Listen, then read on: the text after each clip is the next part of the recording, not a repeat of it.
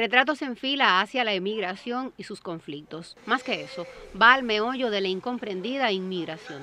Busca el antes y el después de un tema común, archiconocido y experimentado por muchos en este archipiélago antillano. El grupo eh, viene ya hace unos años eh, creando, estructurando eh, la trilogía de las obsesiones. primero fue Mamá, de Raúl Alfonso, también con el fenómeno de la emigración, sobre todo el fenómeno de la necesidad de la emigración por la insularidad.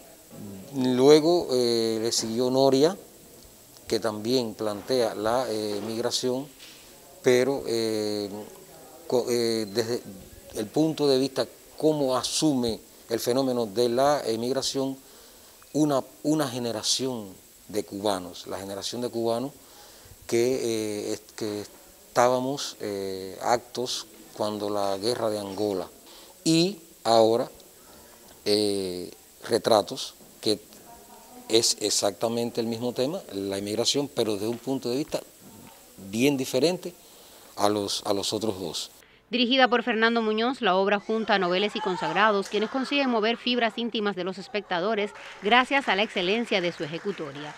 Bueno, esta noche voy a recibir una llamada para confirmar una decisión que ha tomado y necesita contar con todos ustedes. Elena, tú sabes que nosotros siempre, tú siempre puedes contar con nosotros.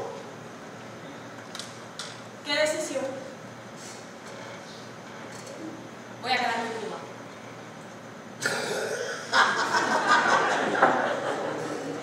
Escrita por la dramaturga santiaguera Lilian Susel Saldívar. Retratos es una pieza estructurada en 10 escenas. Las mismas transcurren en el contexto de una familia cubana actual radicada en la ciudad.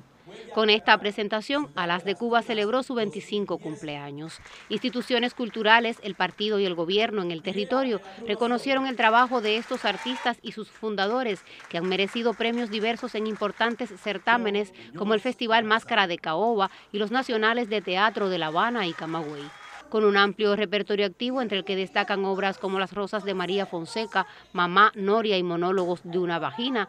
Los integrantes de Alas se proponen continuar consolidando su línea ideoestética desde la interpretación de la realidad cubana contemporánea.